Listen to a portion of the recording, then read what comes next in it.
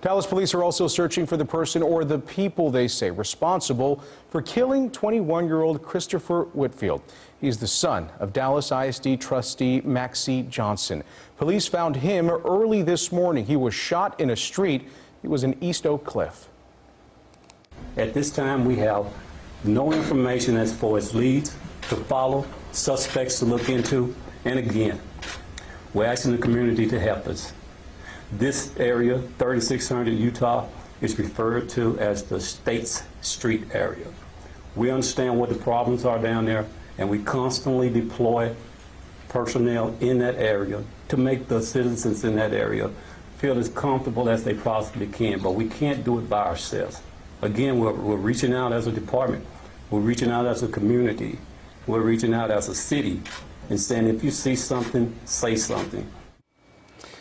Police reiterating that right now they do not have a motive. New at 4:30.